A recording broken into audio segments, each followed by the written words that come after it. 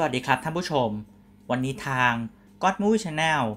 แนะนำซีรีส์ของทาง Netflix มานำเสนอนะครับสำหรับซีรีส์เรื่องนี้มีชื่อว่า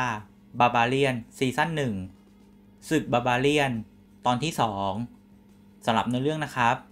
หนังเล่าย้อนไปถึงวัยเด็กของอาร์มินิอุสซึ่งเขามีเพื่อนสนิทคือโฟกวินและทูสเนลดาระหว่างที่ทั้ง 3 ออกล่าหมาป่า ทั้ง 3 ได้ฆ่าหมาป่าตัวหนึ่ง ซึ่งอาร์มินิอุสเก็บเขี้ยวหมาป่ามาได้ 3 อัน และแบ่งให้เพื่อนอีก 2 คน เด็กทั้ง 3 จึงสาบานว่า จะอยู่ด้วยกันไม่แยกจากกัน ทันใดนั้น ทหารโรมันล้อมพวกเขา อาร์มินิอุสหรืออารีรีบวิ่งกลับบ้านไปหาพ่อของเขา ซึ่งเป็นหัวหน้าเผ่าชื่อซีกิแมอารีรีบบอกให้พ่อเตรียมตัว เพราะพวกโรมันมาบุกแล้ว แต่พวกโรมันได้ล้อมซีกิแมไว้หมดแล้วซีกิแมจึงมอบลูกชายทั้งสองคนให้พวกโรมันไปดูแล และเป็นตัวประกัน เมื่ออารีและน้องชายถึงกรุงโรม จึงถูกรับเลี้ยงโดยวารุสและอารีจึงถูกเปลี่ยนชื่อเป็นอามิดิอุสตัดภาพมาในปัจจุบันอามิดิอุสเกลี้ยกล่อมให้พ่อมอบตาอินทรีคืนมา เขายังได้มอบนาฬิกาทรายไว้ เพื่อให้พ่อไว้จับเวลา หลังจากนั้นอามิดิอุสออกไปพบกับโฟกวินและทูสเนลดาทั้งสามต่างเข้ากอดกัน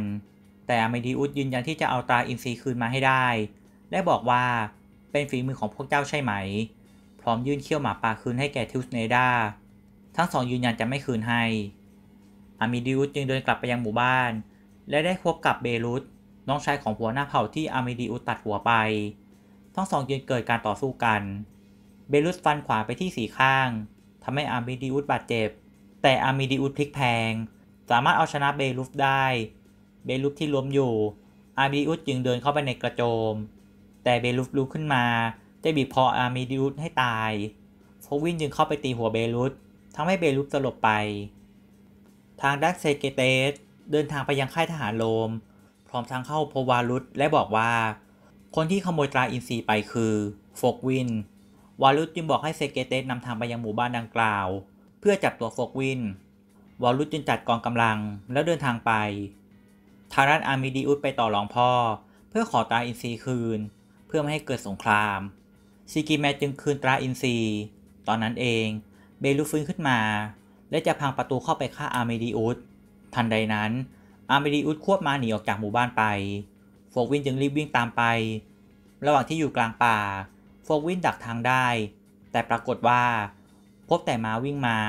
เขาจึงเดินตามหาและพบตัวอาร์เมดิอุสอาร์เมดิอุสจึงเตือนว่า ถ้าไม่คืนตรานี้ อาจเกิดสงครามได้ เขาจึงเอาตราฟาดไปที่หน้าของโฟกวิน โฟกวินจึงสลบไป ทางด้านวารุสเดินทางถึงหมู่บ้าน ซึ่งมีเซเกเตสอยู่ข้างๆ วารุสเข้าพบกับซีกิแมและบอกว่าให้นำตราคืนมา และนำตัวโฟกวินมา ถ้าไม่อยากให้เกิดสงคราม หลังจากนั้น วารุสให้เซเกเตสนำทางไปบ้านของโฟกวิน พ่อของโฟกวินขัดขืน จึงถูกทหารโรมฆ่า ส่วนแม่และน้องถูกจับตรึงไว้กลางหมู่บ้าน ก่อนกลับวารุสสั่งให้นำตราและโฟกวินมาที่ค่ายทหารโรมก่อนรุ่งสางวารุสจึงเดินทัพกลับ เมื่อโฟกวินฟื้นขึ้นมา เขาจึงเดินกลับหมู่บ้านและพบว่า พ่อแม่และน้องถูกตรึงไว้กลางหมู่บ้าน เขาโมโหมาก แต่ทูสเนลดาบอกให้หนีไป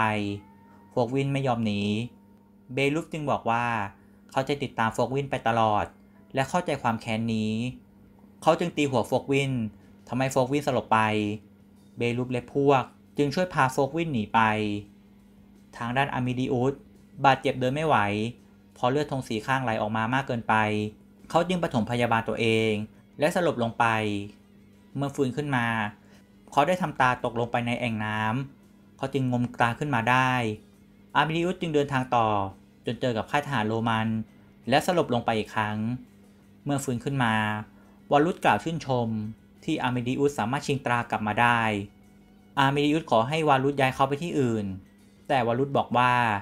เขาได้เสนอชื่ออาร์เมดิอุสให้เป็นอัศวินของอาณาจักร ซึ่งภารกิจสุดท้าย อาร์เมดิอุสต้องฆ่าโฟกวินให้ได้ เพราะโฟกวินขโมยตราประจำกองทัพทำให้กองทัพโรมันเสื่อมเสียชื่อเสียง จบไปแล้วนะครับสำหรับตอนที่ 2สำหรับความรู้สึกหลังรับชม ในเรื่องเปิดเผยเนื้อหาครับ ว่าทำไมอาร์เมดิอุสเข้าใจภาษา Barbarian แล้วเขาอาจจะมาอยู่ฝ่าย Barbarian ก็ได้ และเครื่องแต่งกายในซีรีส์ทำได้สมจริงมากครับ ใครชอบซีรีส์แนวประวัติศาสตร์ชาว Barbarian แนะนำครับ และฝากติดตามตอนต่อไปด้วยนะครับสำหรับใครที่ชอบคลิปนี้ สามารถกดไลค์และกด Subscribe ทาง YouTube และทาง Facebook สามารถกดไลค์คลิปและกดไลค์เพจ God Movie Channel เพื่อเป็นกำลังใจในการลงคลิปต่อไปสำหรับวันนี้ สวัสดีครับ